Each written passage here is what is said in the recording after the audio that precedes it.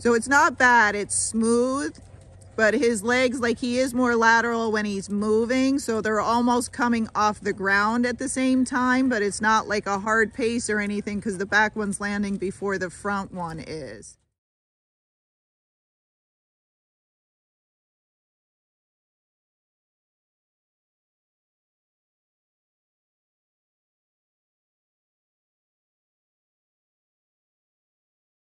is. And then what's he do as you go faster? What you think is like your running walk?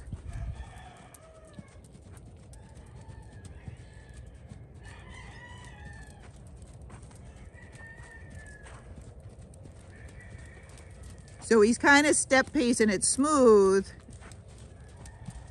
So what can I do to help him get Yes, but you'll see. So keep going for a minute because then you'll get to see it on the video.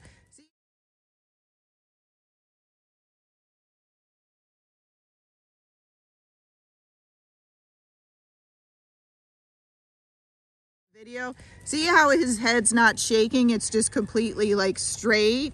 Yeah. When they're doing their flat walk and their running walk, they're gonna shake their head. So now slow them back down and go back to that first speed you were going. And then you'll see just a little bit of head shake in there, but it's not a lot because he's not reaching up that much with his hindquarters. I'm staring at his hind legs for a second.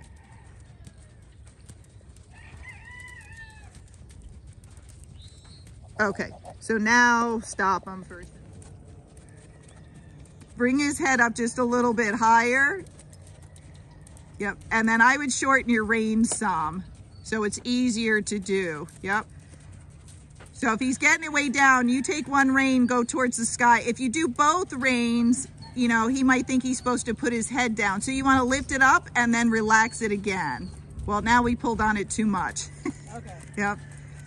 So now he lost his speed. So see, it's multitasking. It's hard to do all this at the same time. Yeah, I would still shorten your reins a little bit more. Yeah. So his head's still too low. That's better. Yep. It was up and then you pulled and then it went right back down again. But that's better. Yep. Go boy. So stop for a second. Give him a break so he knows that's the right thing.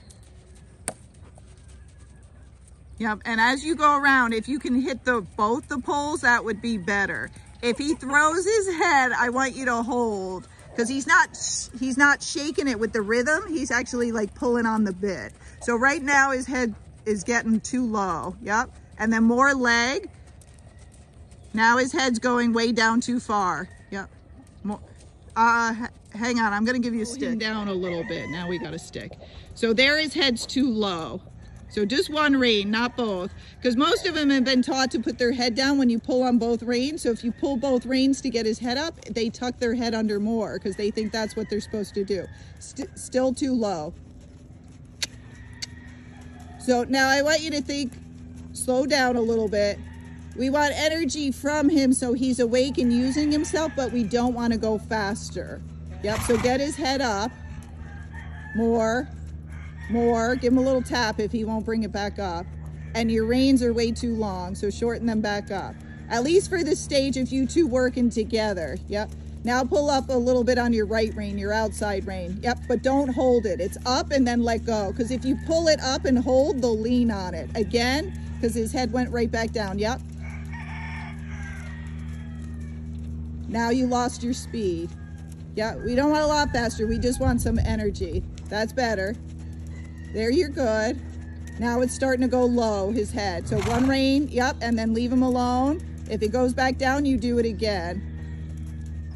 His head's too low. You have the opposite of most people's problems, yep.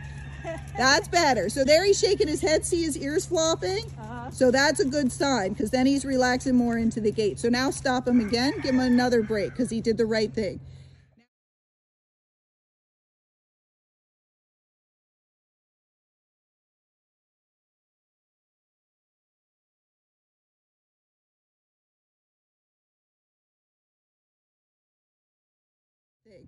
Now, as you stop, the next time you stop, hold until his head drops down because when you stop, he pulls on the bit and that's why he's doing it because then you release. So he goes, I stop, I pull on the bit, she lets go. So we want to stop, get his head down, don't have him pull, then we release. Okay. Because he's shaking his head, that's good. Yep. That's fine.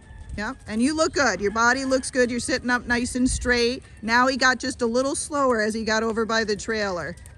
Now he went too fast.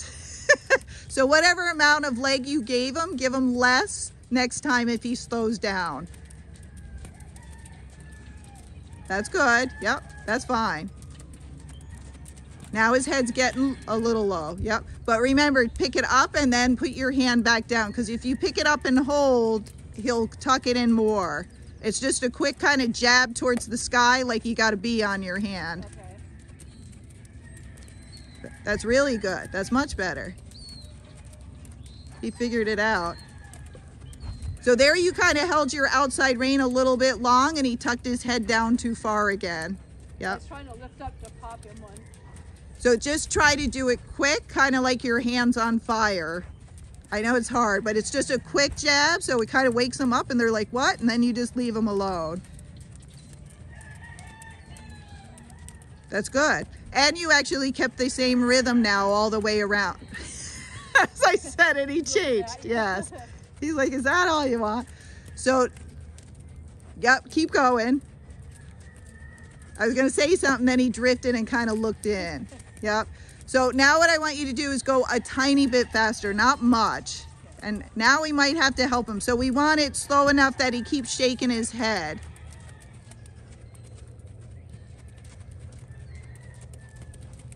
That's better. Right there was pretty good.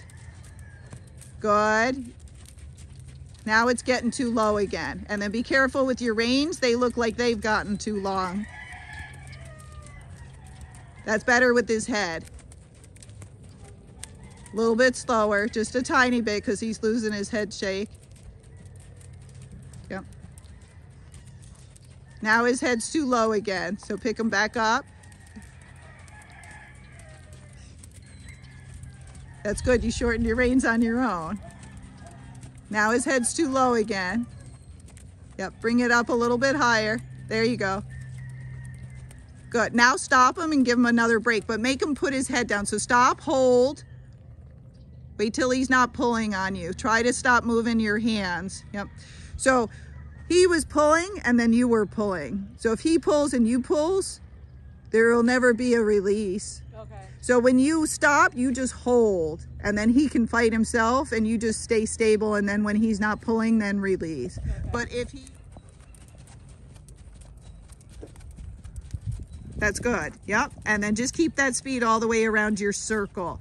As he gets to the poles, you might have to push a little bit with your legs so he doesn't slow down. But you'll see his ears starting to flop a little bit. Mm-hmm. And then we just got to be careful if his head gets down too low. There it's getting a little too low. So just a quick jet, that's it. And then leave him alone. If it doesn't work, then try the other rein. There his head's back up, so that's good. Good boy. Yep. Oh, so he, he slowed down in front of the pole. So he's trying to take the easy way. He kind of cut in and he slowed down. So he's very smart horse. So try to get him more, you know, either in the middle or the other side of the pole. So if he cuts, you'll still get over it. And then more leg as you get in front of the pole. Yep, and if he's throwing his head, you just hold. You just don't want to give in to him. That's good. Yep, so he slowed down again. So it was better, you got more to the center, but uh, we want to give a little bit more leg in front of that pole.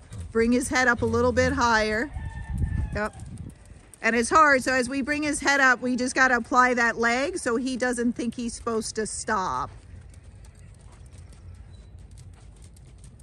Now think of going forward. Much better. Yep, now stop him and give him a break because he did the right thing and we know he didn't want to do it, so we want to reward him for it and hold till he puts his head down. If he's not putting his head down, tighten your fingers and make a fist and just hold. And then try not to move anymore. All right, good enough. don't feel him pulling on me. Okay, so then go ahead and what you want to do is bring his head up a little bit. Don't go faster, but add more leg because we want him to use his hind quarter more. So you're going to kind of push for energy and then contain it. That was good. Yep. Good. So go ahead and keep the speed. He sped up a little bit, but that's okay. Bring his head up a tiny bit higher. Yep. Good. You were good. And then you turn, you pulled to turn and he tucked his nose back in. That's better. Good speed. Watch his head. It's getting a little low, but now the pole. So now go forward. it's a lot to do at the same time. Yep, now slow him back down just a little. So a little squeeze and relax and then get his head back up because he's got it on the ground. Try it again. Yep, one hander, then the other if he doesn't do it. Get it back up. Yep, good job. Good, and then forward when you see the poles. That was good. And then stop again.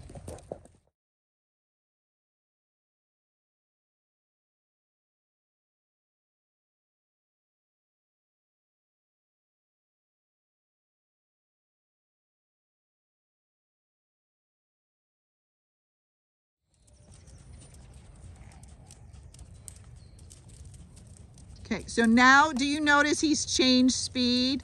Like you rode forward over the uh, poles, which was fine, but you're going a different speed than what you started out at. him.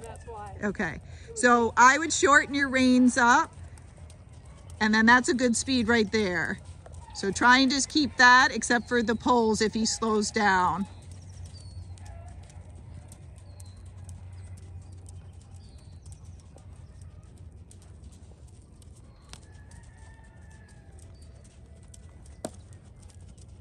Yep, so now just push him out, make sure he doesn't cut in. Yep, and anytime you go to push him out, just hold a little bit so he doesn't speed up. That's good. It's much better.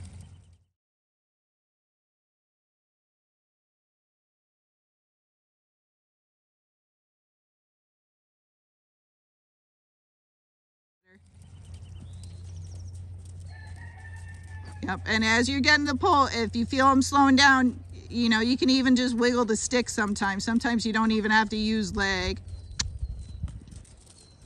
Okay, so now, well, he sped up, so just keep that speed. That's okay. And then shorten the reins. Because now, he, when your reins get long, his head gets way down there. Okay. Yep.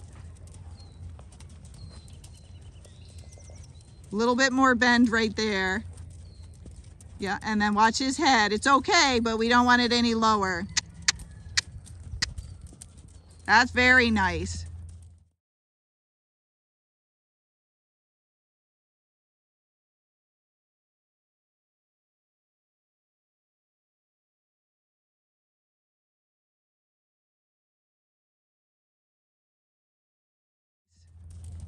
Really good job. Good. Yep. So he, even though he's 22, at times, like he looks phenomenal. He shakes his head, he's carrying it well, and he's flopping his ears. So he's really engaging himself. And then it goes away. But that's normal when we just, you know, started working on it. Okay. But it shows us that even though he's older, he's got- he's got a lot in there that he's probably hidden from you. yeah. Yes. yeah. So when he does that, just hold and then add a little bit more leg. Because he does it every time he gets over by the other horse. So he's just telling you like, hey, I want to go over there. And you just got to tell him, no, you got to keep working. Uh. Yeah. And I would shorten up your reins again. That's it. Yeah. Just a little bit more energy. Not so much like a lot faster, just more leg to make him engage himself.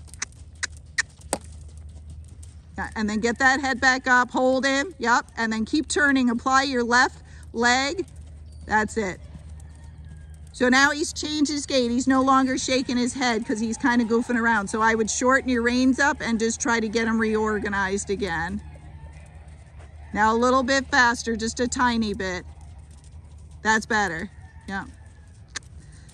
So when he gets faster, he's still smooth. It's just that he's changing gait and we don't want him to do that unless we ask him to change. Get his head, yep.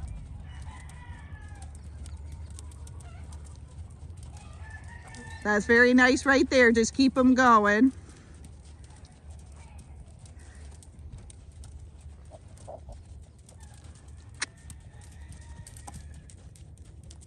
Good. And then press your left leg against him so you're kind of blocking him.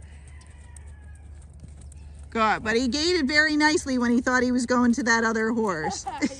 so you saw what he can do. It's now making him do that and then stopping him from speeding up more. Because he did a very nice gait and then the closer he got to the horse, the faster he got and he changed his gait. So make sure your reins are short enough and then you want to block him and then keep this gait, right here.